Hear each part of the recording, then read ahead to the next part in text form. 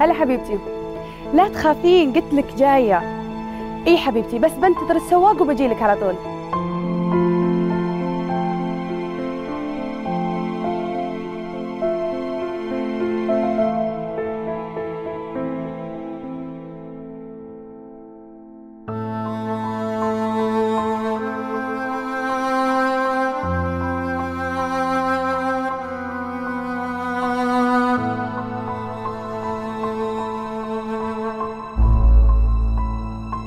تربية أطفالك والعناية بهم.